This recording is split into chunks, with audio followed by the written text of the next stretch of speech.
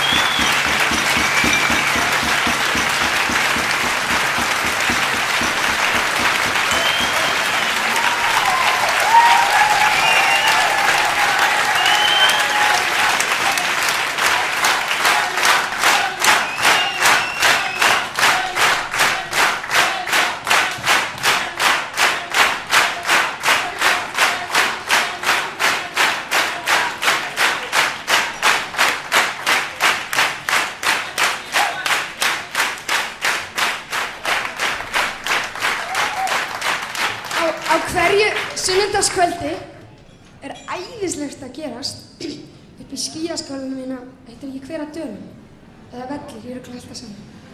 Er ekki hver að dönum, sem við leyndu hver að gerast. Á hverju sunnudagskvöldi er hljómsveit að spila þar. Hérna, Guðmundur sem spila trónum.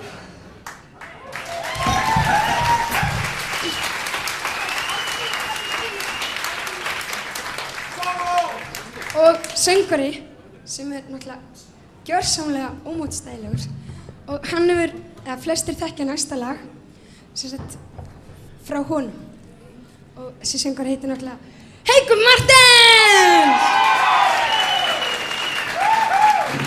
Og nú ætlum ég að reyna líka. Og landið ger, hérna, lagið gerist í, í sóluröndunum.